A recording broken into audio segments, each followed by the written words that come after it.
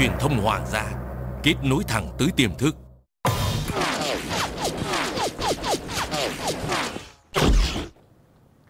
À, vâng, dạ, dạ đúng rồi bác ạ. Dạ, dạ, dạ, dạ. À, chừng nào mà bác về á là bác phải nhớ là bác lo liền công chuyện cho con nha chưa?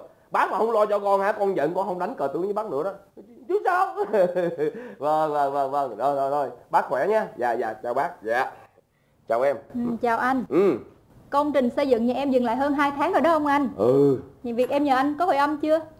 Đây nè, anh mới vừa nói chuyện với bác ấy, bác ấy chưa về tới thành phố. Vẫn còn đi miền Trung nữa hả? Đúng rồi. Mà em yên tâm đi, anh với bác ấy thân lắm. Đánh cờ tướng với nhau hàng ngày, vui chết luôn.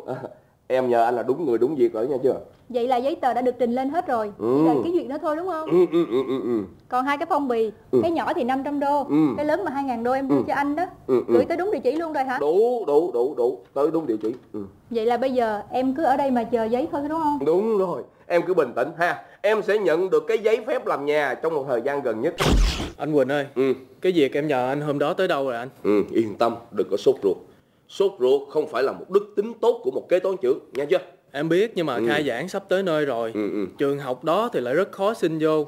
Chị của em á, có đứa con duy nhất à. ừ Nên họ muốn nó vô trường tốt. yên tâm đừng có sốt ruột hiệu trưởng trường đó là bản thân của mình ừ. Hay là còn vấn đề tiền nông. ờ, Nếu mà như vậy á, thì anh cứ nói cho em biết nha. còn đủ rồi ha yên tâm đừng có sốt ruột từ đó giờ cậu phải biết một cái câu thành ngữ như thế này là muốn nhanh thì phải từ từ con nghe không yên tâm nhé. Rồi sếp ơi, mấy công việc mà em nhờ sếp á sếp rồi, bây giờ sếp sếp, sếp lo làm sao rồi sếp? Yên tâm, cậu đừng có sốt ruột, hiểu không? Dạ dạ dạ, nhưng nhưng mà sếp cũng biết là em em không có thời gian mà lâu lâu em mới nhờ sếp một lần sếp giúp giùm em. Tôi không biết đi nhờ giả người ta, chẳng phải muốn có là có được đâu. Cậu yên tâm, đừng có sốt ruột ha. Dạ yên tâm em đi. biết em biết, dạ dạ nhưng mà sếp ơi bây giờ sếp lo mấy cái công việc đó lẹ lẹ giùm em nha sếp. Dạ. Trời ơi, cậu có nghe một câu thành ngữ không? Ờ, dạ, dạ. Muốn nhanh thì phải từ từ. Đừng, đừng có làm tôi sốt ruột chứ. Gặp cô Mỹ Hạnh đây mừng quá. À, cô Mỹ Hạnh ơi, ờ, cô có thể giúp cho tôi một chuyện được không? Ok, sếp cứ nói. À, tôi nghe nói hình như là cô có người nhà làm ở sở giáo dục phải không? Ừ, đúng rồi. À, không có gì. Muốn giúp cho đứa cháu của tôi đó. Bây giờ cho học ờ, trường học La Sang Tabe đó, với trường điểm đó. À, nhờ cô giúp được chứ? Ừ, được thưa sếp. Thì cảm ơn cô ha.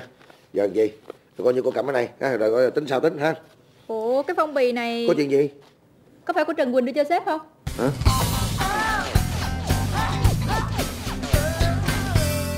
Trần Quỳnh nè, Ừ, hình như anh có người quen bên sở giáo dục thành phố đúng không? đúng rồi, thân lắm, có chuyện gì không? Định xin cho cháu đi học đúng không? Sao anh biết hay vậy? Thì anh cũng đang nhờ- lo cho Chí Tính cái chuyện này. Trời ơi, trong công ty này việc gì cũng phải đến tay anh. Không có Trần Quỳnh này là không xong việc đâu. Ừ. Cháu của Chí Tín tên là Trí Nguyên đúng không? Ủa, sao em biết vậy?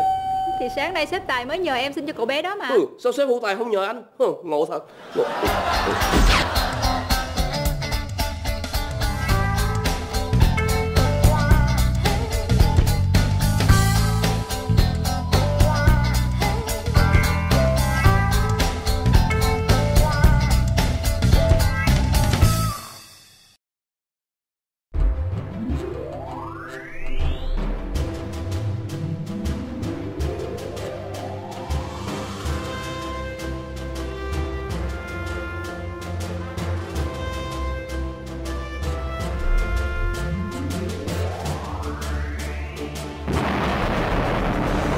Thuận theo tự nhiên. Tổ hợp truyền thông hoàng gia.